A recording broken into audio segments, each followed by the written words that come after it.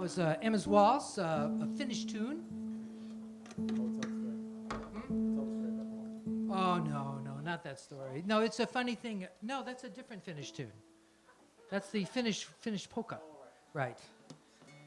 Getting our waltz and polkas mixed up.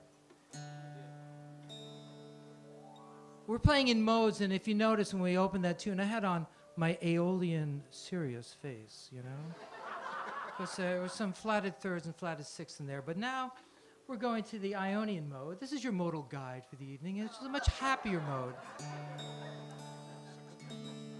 Here's a tune by, uh, we learned from the playing of Danu. And I learned it from William Coulter, my producer. It's called Breton Lullaby.